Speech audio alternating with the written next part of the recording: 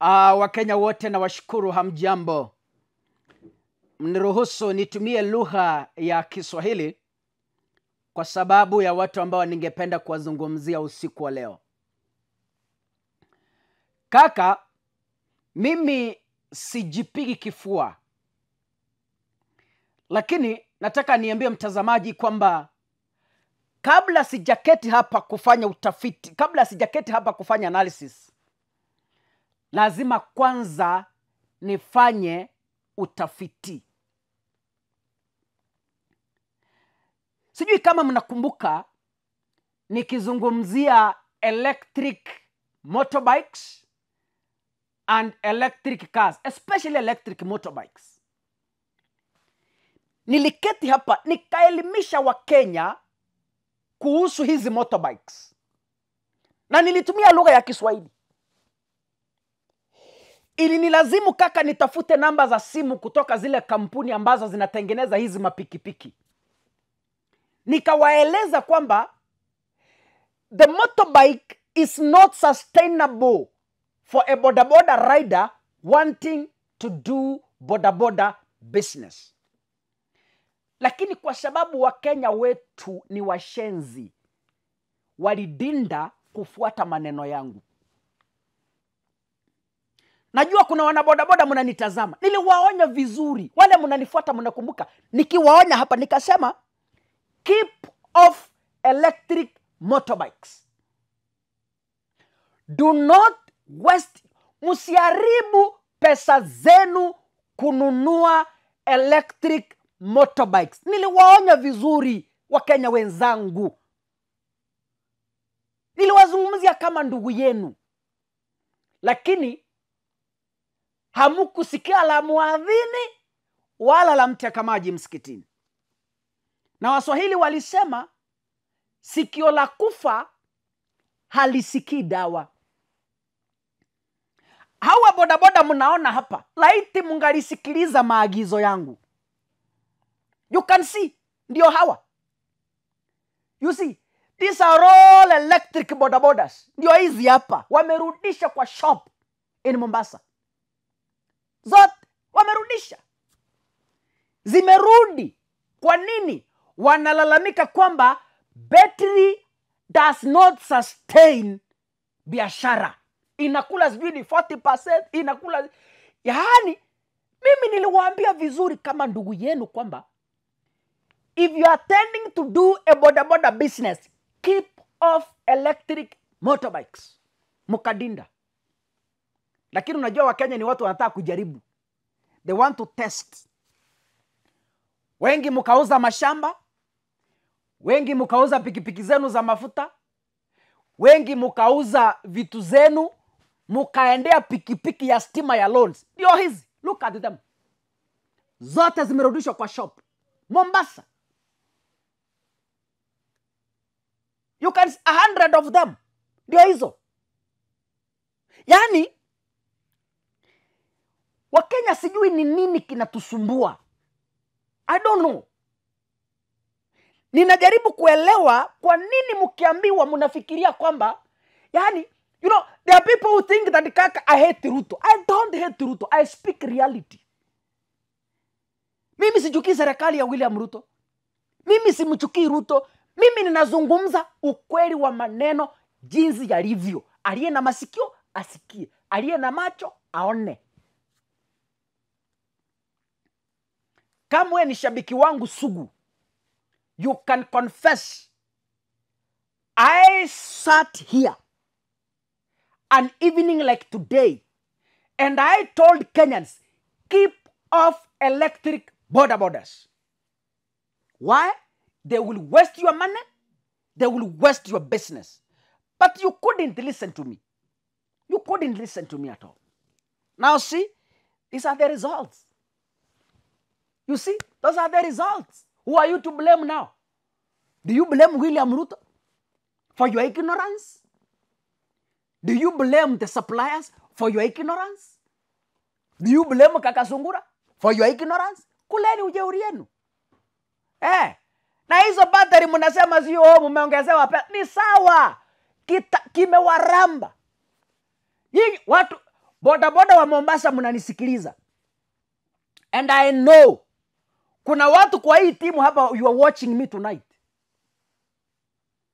Kama hamutasikia maneno mnayoambiwa mutakufa masikini nyinyi. Mnaharibu pesa. Mukionywa hiki kitu ni mbaya. Mu, munaenda tu blindly.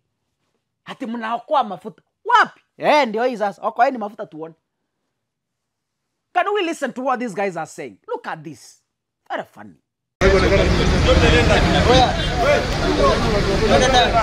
Anaenda wapi?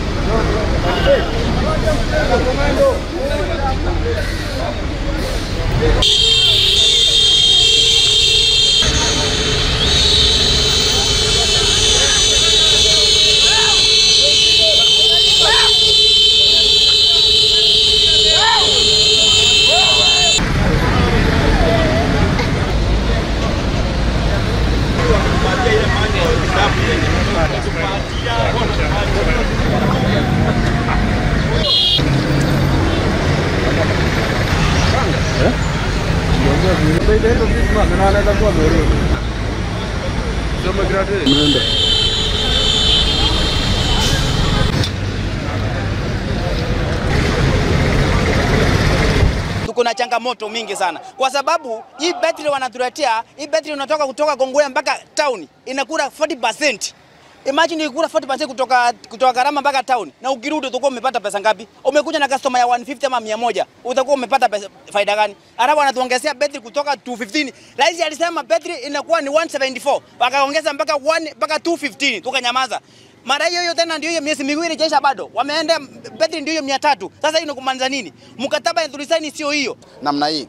Bike haina nguvu ikifika kwenye mlima, na hizi kazi ni kazi ya kung'ang'ania, survival for the fittest. Wakati bike haina nguvu, wale wengine wetu wa petrol ambao hawajabadilisha hata wanatunganya uh, customer, so hata tunakuwa hakuna kazi ambayo tunafanya so na ile kikubwa ambayo inatuumiza ni kuwa kwa nini swapping iweze kubadilika within kwa ndani ya miezi miwili tu. mkidhubutu kupandisha bei kwa shilingi moja mambili, tunasema hivi, hizo pikipiki mwangalie mahali mtapeleka. Lakini kwa muda mfupi hivi tumeona tumeona kwamba kumbe tumezunguliwa, kwa sababu sasa tunasema hata ile yetu sasa ile kawaida ile ile iko stronger kuliko hiyo. Um, if you compare those prices versus any vehicle that is using fuel, that's a two-wheeler, um, you'll find that we are 50% more affordable than someone uh, riding a two-wheeler in Kenya.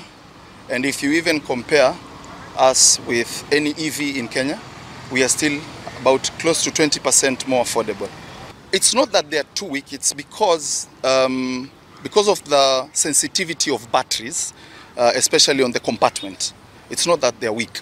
They are, they are performing pretty well. It's just that with, with the sensitivity of water and battery, me and you know that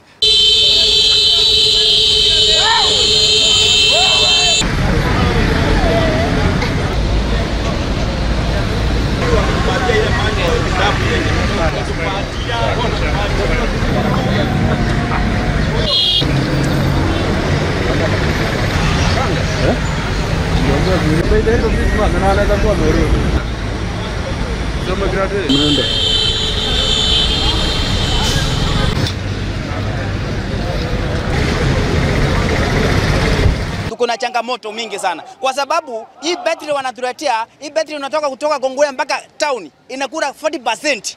Imagine ukikula 40% kutoka kutoka Karama mpaka town na ukirudi utakuwa umepata pesa ngapi? Umekuja na customer ya 150 ama 100, utakuwa umepata pesa, faida gani? Alafu anatuongezea betri kutoka 215. Rais alisema betri inakuwa ni 174, wakaongeza mpaka 1 mpaka 215, tukanyamaza. Mara hiyo hiyo tena ndio hiyo miezi miwili jaisha bado. Wameenda betri ndio hiyo 300. Sasa hii inakumaanisha nini? Mkataba tulisaini sio hiyo. namna hii. Bike haina nguvu ikifika kwenye mlima, na hizi kazi ni kazi ya kung'ang'ania, survival for the fittest. Wakati bike haina nguvu, wale wengine wetu wa petrol ambao hawajabadilisha hata wanatunganya uh, customer, so hata tunakuwa hakuna kazi ambayo tunafanya so na ile kikubwa ambayo inatuumiza ni kuwa kwa nini swapping iweze kubadilika within kwa ndani ya miezi miwili tu. mkidhubutu kupandisha bei kwa shilingi moja mambili, tunasema hivi, hizo pikipiki mwangalie maana mtapeleka. Lakini kwa muda mfupi hivi tumeona tumeona kwamba kumbe tumezunguliwa, kwa sababu sasa tunasema hata ile yetu sasa ile kawaida ile ile iko stronger kuliko hiyo. Barabara- um, if you compare those prices versus any vehicle that is using fuel, that's a two-wheeler, um, you'll find that we are 50% more affordable than someone uh, riding a two-wheeler in Kenya. And if you even compare us with any EV in Kenya, we are still about close to 20% more affordable. It's not that they are too weak, it's because, um, because of the sensitivity of batteries, uh, especially on the compartment. It's not that they're weak.